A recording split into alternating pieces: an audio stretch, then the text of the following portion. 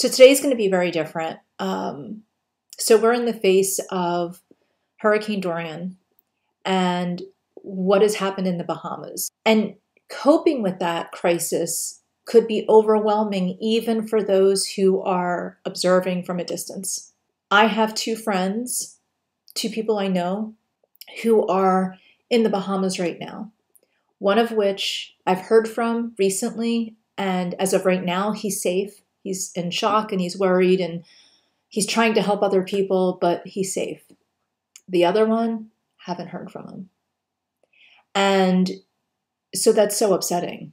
I mean, really upsetting. I didn't want to cry on here. I know that it can be really hard. And having the training and having the know how and having all the right books and everything else doesn't make it better. So, in reality, I'm feeling it just like anyone else is. However, I do know that a way to help ourselves is to be more empowered. I want to discuss something about a speaker that I once heard. So, backtracking a little bit. Her name was Nina Kaleski. I want to say Kaleski, I forget the last name specifically. She was a Holocaust survivor, and one of her jobs in the Holocaust, this is after her mother and father were taken away, after her she saw her sister die, after all of this trauma. And she's young at this point. She's a teenager. One of her jobs was to carry the dead bodies over to an area to be burned. So when I heard this woman speaking in Philadelphia, I was overwhelmed with how this woman could go through so much and she could still find positive because she was the most positive person I've ever met in my life. And that far surpasses, and sorry, Tony Robbins, but far surpasses Tony Robbins or any motivational speaker I've ever heard, any TED talk I've ever heard. Nina her positivity and her lessons just blew everyone away.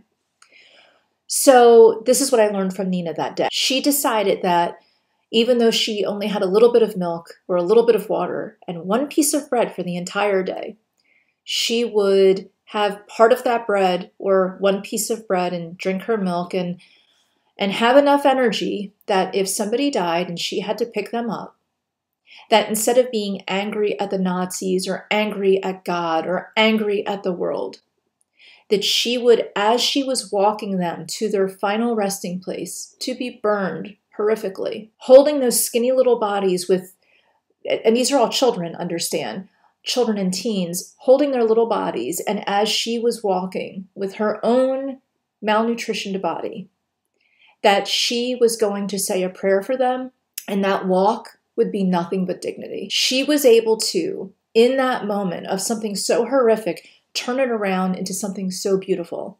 If we look back and we look at what's happening now in the Bahamas and we feel helpless, you don't have to feel helpless. You can do something. If each and every person just sends one pack of diapers or one outfit from a baby, everybody, almost everybody can donate a little bit. So when you're feeling disempowered and looking at all of this heartbreak and loss, we can still do something.